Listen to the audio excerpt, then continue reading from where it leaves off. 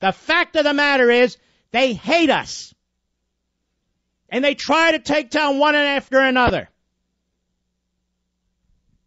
I know some of you don't like Rubio. Have you looked at the headlines on Rubio today? They're going after this guy. The guy doesn't even have damn money. They're going after that guy.